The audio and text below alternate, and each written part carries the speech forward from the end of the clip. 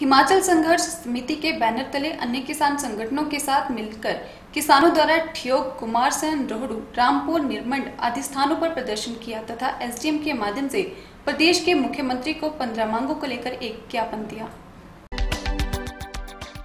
किसान संघर्ष समिति के बैनर तले अन्य किसान संगठनों के साथ मिलकर किसानों द्वारा आज ठियोग, कुमार कुमारसैन रोहड़ू, रामपुर, निर्मंड कसुमटी आदि स्थानों पर प्रदर्शन किया गया। तथा एसडीएम के माध्यम से प्रदेश के मुख्यमंत्री को एक पंद्रह मांगों को लेकर ज्ञापन दिया। इसमें विधायक राकेश सिंघा समिति के सचिव संजय चौहान, समिति सदस्य लाइकराम ओस्टा, सुनील चौहान, अजय दुल्टा, राकेश दिनेश, विनोद शर्मा, हिमाचल किसान सभा के राजेंद्र चौहान, सत्यबान पुंडीर, देवकीनंद सुरेंद्र वर्मा जय सिंह ज्येष्ठा पूर्ण आदि के साथ सैकड़ों प्रभावित किसानों व बागवानों ने भाग लिया। इन मांगों में मुख्यतः किसानों व बागवानों के विभिन्न मंडियों में आड़तियों व कारोबारियों के द्वारा जो बकाया राशि का भुगतान करना है, सरकार उसे तुरंत करवाए तथा दोषी आड़तियों के विरुद्ध कानूनी कार्रवाई की जाए। किसानों को विभिन्न मंडियों में धोखाधड़ी व शोषण से बचाने के लिए प्रदेश में एपीएमसी अधिनियम 2005 को सख्ती से लागू करें। विशेष रूप से धारा उनतालीस की उप धारा दो के नियम 19 व 22 को तुरंत प्रभाव से लागू किया जाए। इनमें स्पष्ट प्रावधान है कि जिस दिन किसान का उत्पाद बिकेगा, उसी दिन उसका भुगतान सुनिश्चित किया जाएगा तथा जो भी आरती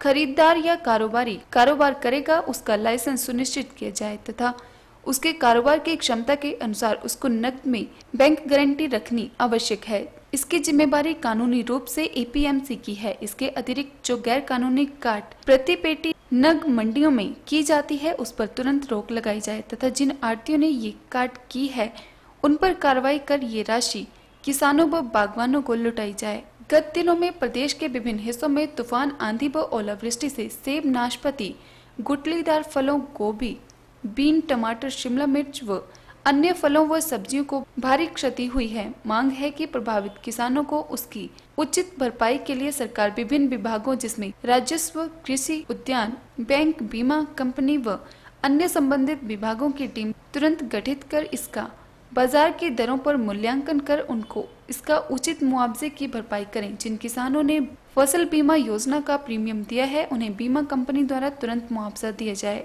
यदि बीमा कंपनी इस पर समय रहते कार्रवाई नहीं करती है तो सरकार इसके विरुद्ध कड़ी कार्रवाई करे। इसके साथ ही प्रदेश सरकार, केंद्र सरकार पर सभी देशों से सेब व अन्य कृषि उत्पादों पर आयात शुल्क कम से कम 100 प्रतिशत करने तथा जो हाल ही में केंद्र सरकार ने कृषि आयात के लिए सभी बंदरगाहों को खोल दिया है, उन्हें तुरंत बंद करने के लिए दबाव बनाए। किसान संघर्ष समिति आने वाले दिनों में इन मांगों को लागू करवाने के लिए शीघ्र ही किसानों का एक जन प्रतिनिधि मंडल के साथ मुख्यमंत्री को मिलेगा तथा सरकार द्वारा की गई कार्रवाई पर विचार विमर्श करेगी। यदि सरकार इन मांगों को समय रहते नहीं मानती है तो किसानों व बागवानों को आंदोलन के लिए विवश होना पड़ेगा।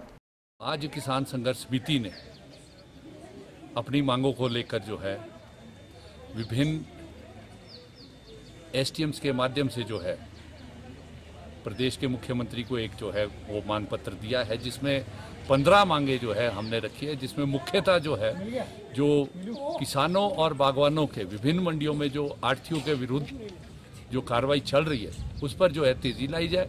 और इसके साथ साथ जो है, जो किसानों और बागवानों का आज जो है, सैकड़ों करोड़ रुपया जो इन आढ़तियों कारोबारियों के पास फंसा है।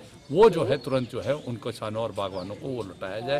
प्रदेश की सरकार जो है इस पर जो है सुचारू रूप से कार्य करे और जो दोषी आर्थी है उनके खिलाफ जो है कानूनी रूप से कार्य करे। और हमारी मांग इसी मांग पत्र के अंदर ये भी है कि जो एपीएमसी एक्ट 2005 है, उसको जो है विभिन्न मंडियों के अंदर लागू किया जाए और उसकी जो धारा उनतालीस की जो उपधारा दो है, जिसमें स्पष्ट है कि जिस दिन किसान का माल जो है मंडी में बिकता है उसी दिन जो है पेमेंट करनी है। और जो भी कारोबारी है, चाहे वो आड़ती है, चाहे खरीदार है, उसको जो है, उसी, उसके कारोबार करने के लिए जो है सिक्योरिटी के रूप में जो है बैंक गारंटी कैश के रूप में जो है देनी है।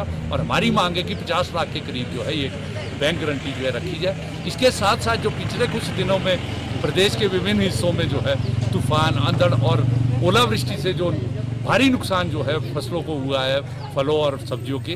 तो किसान संघर्ष समिति जो है मांग कर रही है कि आप, प्रदेश की सरकार जो है, उचित मुआवजा जो है इनको दे और जिन्होंने फ़सल बीमा योजना के तहत जो है वो अपने आपको रजिस्टर कराया है, उनके जो है बीमा कंपनी तुरंत जो है मुआवजा जो है उनको दें। और इसके अलावा जो है अन्य मांगे भी इसके अंदर है, जैसे मंडियों का सुधार है।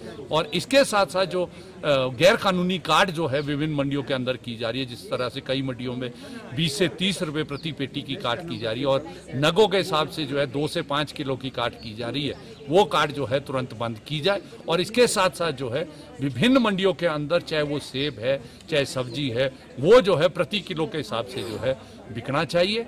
ये जो कानूनी प्रावधान एपीएमसी एक्ट के अंदर है, प्रदेश की सरकार इनको लागू करे और ये मुआवजा जो है तुरंत दे। ये माननीय मुख्यमंत्री को हमने प्रेषित दिया और